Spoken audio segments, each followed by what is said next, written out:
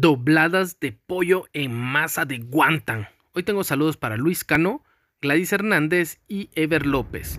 Vamos a llevar en una ollita a hervir nuestra pechuga de pollo.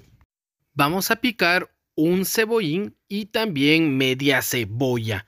También vamos a picar un poco de cilantro y también un pedazo de puerro o la mitad de una cabeza de puerro, la cual la vamos a hacer partiéndola a la mitad y de esta forma la vamos a picar. Ya que tengamos todo esto listo, vamos a ir a ver cómo va nuestro pollito.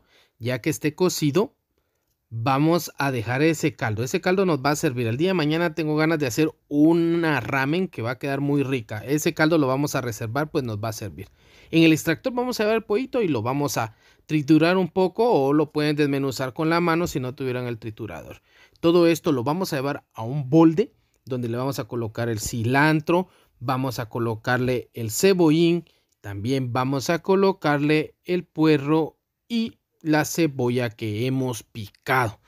Todo esto lo vamos a revolver sin olvidar algo muy importante, la sal y pimienta. Vamos a colocarle su salita y su pimienta.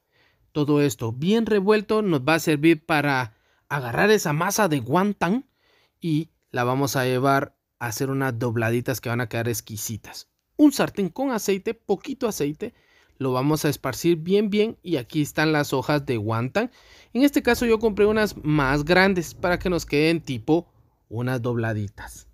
Vamos a agarrar de esta forma, le vamos a colocar el relleno de pollo al centro y la vamos a doblar así.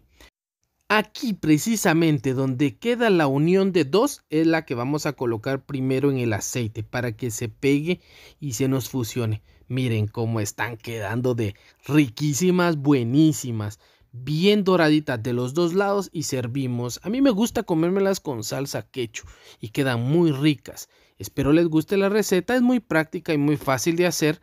Síganme para más videos y disfruten de estas quesadillas. Saludos a todos.